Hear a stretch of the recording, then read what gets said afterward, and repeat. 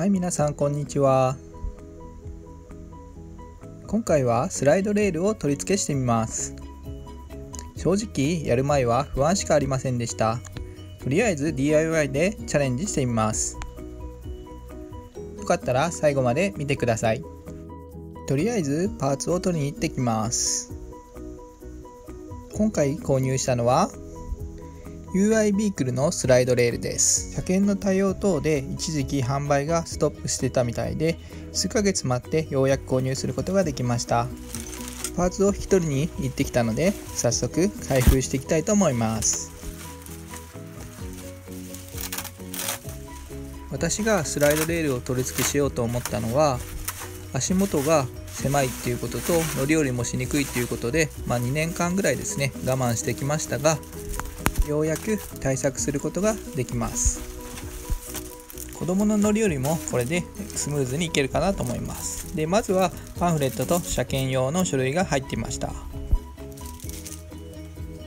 パンフレットも入ってたのは正直嬉しかったです。あとは写真付きの取扱説明書が入っていたので早速セカンドシートの撤去からやってみます。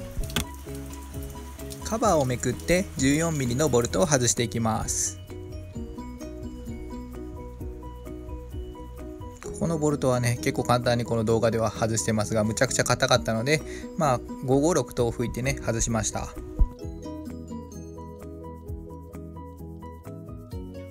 これがも外したらシートは重たいので台車に乗っけてとりあえず後ろ側に移動させました。次にマットを剥がして6つのボルトを外していきます。こちらのねボルトも結構硬いので一生懸命ね外していきました。雨が一時的に止んだのはラッキーでした。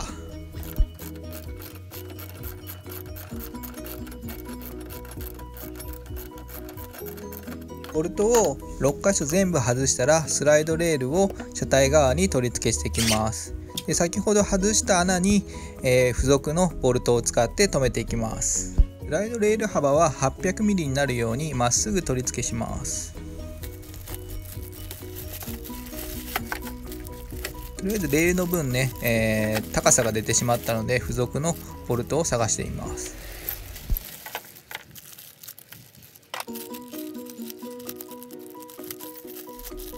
ちなみになんですがこちらの、え、6本のボルトを締めるときに 8mm の六角が必要です。急遽ホームセンターで購入してきました。床とスライドレールの間にワッシャーを入れて微調整します。幅は 800mm で調整。防火なんかを置いてレールの上に乗せて浮かないように調整します。詳しくは後で説明します。続いてレールに引っかかるようなところの、えー、マットをハサミかなんかで切っていってください。ニードルフェルトに挟まれている間のここのマットなんですが下敷きのような感じで結構硬くてハサミで切るのも結構ね苦労しました。反対側も同じように切っていきます。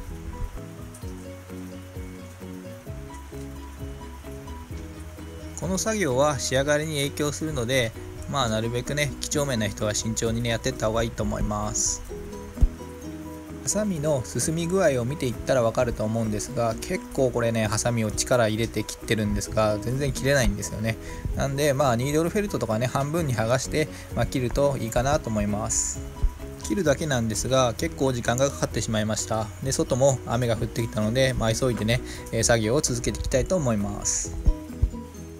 あとは、えー、マットを戻してもらって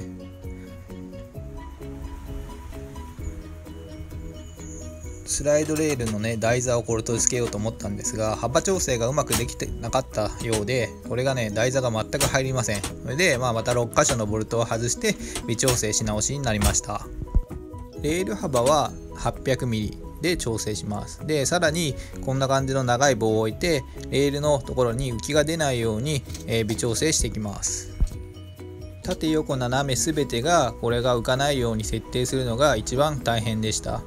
調整後なんとか台座がスライドレールにはまりました。であとはローラーを中に入れてえー、最後のこの上に2箇所穴が開いてると思うんですけどそこに小さなローラーをこんな感じで上からネジで締めて留めます。次にシート側のパーツを取り付けします。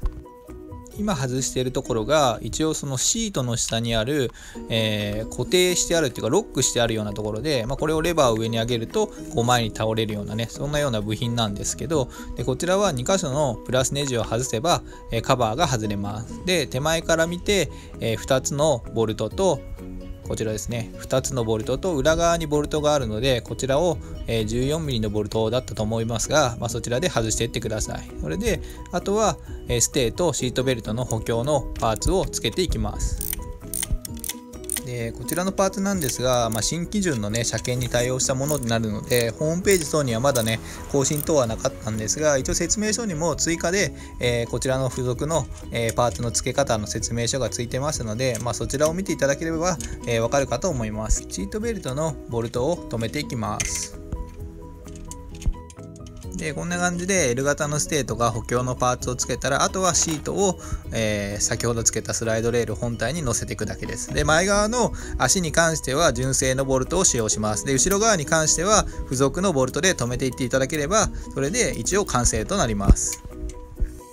流れ的にはシートを乗せて前側は純正ボルトを使用してシートを固定します。でシートは重いので、まあ、できれば2人で作業すると良いと思います。え私は1人で作業しましたが少しシートを浮かしながら前側のボルトを入れなきゃいけなかったので結構大変でした。スライドレールの動きが悪かったり音がする場合は再度調整が必要かなと思います。取り付けの流れはこんな感じです。それでは実際に完成したところを見てみましょう。こんな感じで一応取り付けすることができました。で下のマットレスに関してはこちらも UI ビークルさんの専用の、えー、マットレスを購入しました。レールを下に取り付けた分、えー、シートの高さは上に少し上がりました。これだけ広くなるとセカンドテーブルも欲しくなります。でこれがロック解除レバーで上に引くことで、えスライドすることができます。あとはベッドキットの加工が必要なのでまた時間がある時にねやってみたいと思います。今回 DIY でやってみて思ったのは、まあ、調整がね結構大変っていうこととセカンドシートも結構重たいので1人で作業するのは大変です。ですので結論としてはお店に頼んだ方が良いかなと私は思います。